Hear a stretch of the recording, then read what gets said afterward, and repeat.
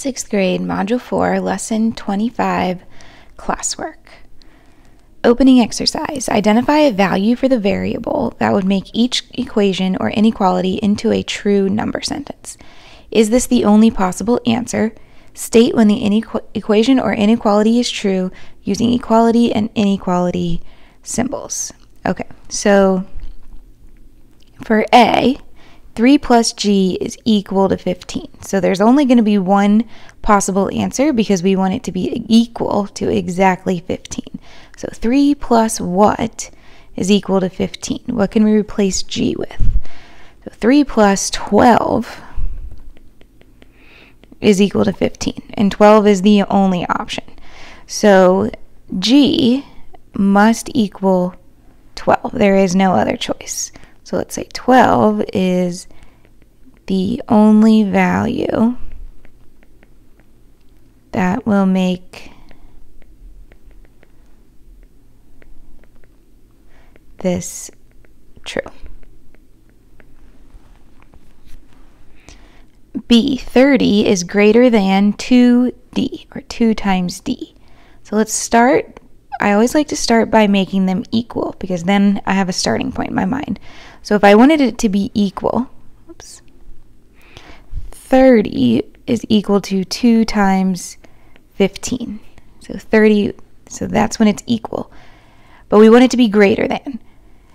So I'm going to have to make, let's try if we make d into 2 times 16. So that would be 32. Is 30 greater than 32? No, that does not work. So it looks like it needs to be less than 15.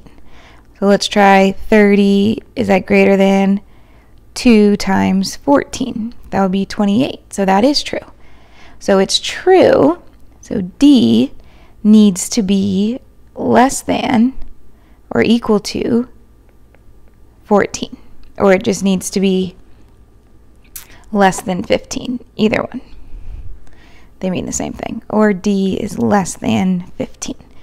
So there's more than one value that will make it true. Because, for example, if we made it 13, 2 times 13 is 26. So 30 is still greater than 26. So there are going to be a lot of values that make this true. But it just needs to be 14 or lower. So let's say there is more than one value of d that will make this true.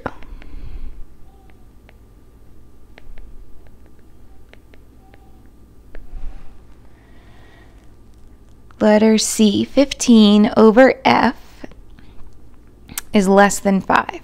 So I'm going to make it equal to 5. 15 divided by 3 would make it equal to 5, but we need it to be less than 5. So let's try 15 divided by 5, for example.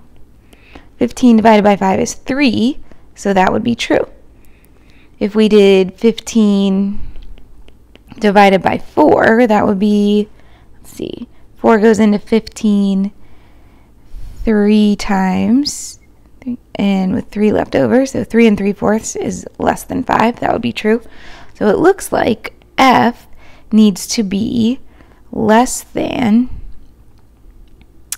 um, or sorry, it needs to be greater than 3. So as long as it's, it could be 3 and a third, it could be 4, it could be 27. As long as f is greater than 3, it will be true. But there's, so there's more than one value.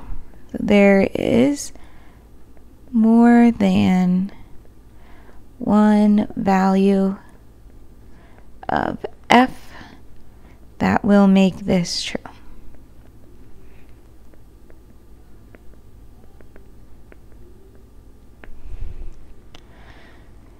Letter D. 42 is less than or equal to 50 minus m. Okay, so again, I'm going to make it equal. So 42 would be less than or equal to 50.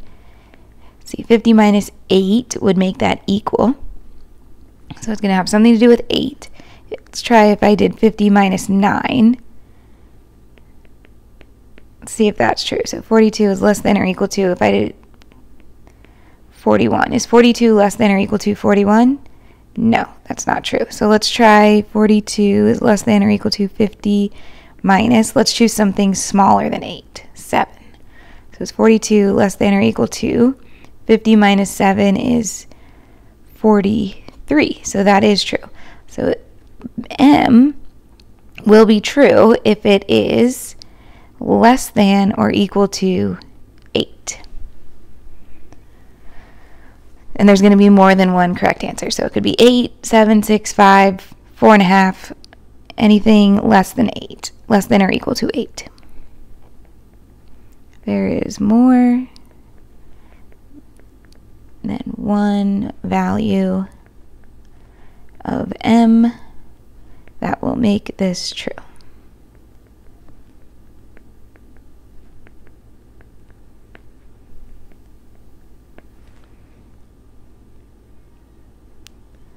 Okay, example. Each of the following numbers, if substituted for the variable, makes one of the equations below into a true number sentence. Match the number to that equation. So we have five different number sentences and we have 3, 6, 15, 16, and 44. So each one is true for all of these. So let's start with n plus 26 is equal to 32. So what do we need to put in place of n to make this true? So what plus 26 equals 32? So we could figure that out by doing 32 minus 26 would be 6. So n must be equal to 6. So I'm going to cross out 6 because we used it. So b, n minus 12 equals 32. So what minus 12 gets us 32? We can figure that out by adding them.